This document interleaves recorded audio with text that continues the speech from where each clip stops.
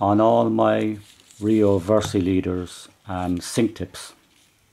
I use a perfection loop as you can see. Nice neat knot nice and tidy. And here I'll show you how to make the perfection loop. Right. What we'll do is we'll grab some monofilament. Now all you have to do again with this is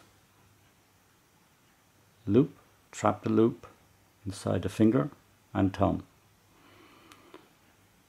Just simple one.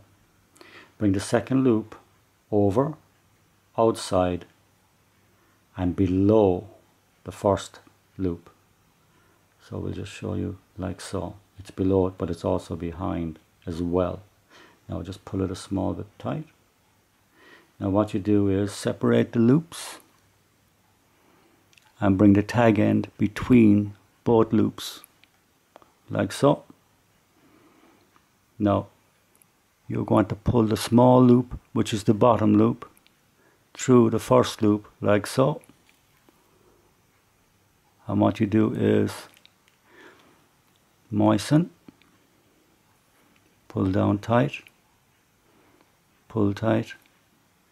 And just get the hook to tighten it up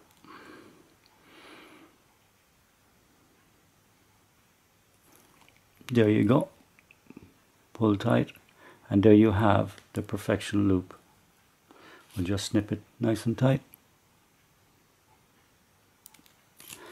And there you go. One very neat loop especially for sink tips or versi leaders or even tapered leaders. Now a small trick is just to make the loop easier to use. Pull it tight with either a round surface like so and there you go.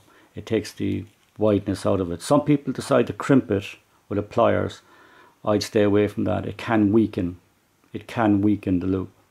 So there you go. A nice neat perfection loop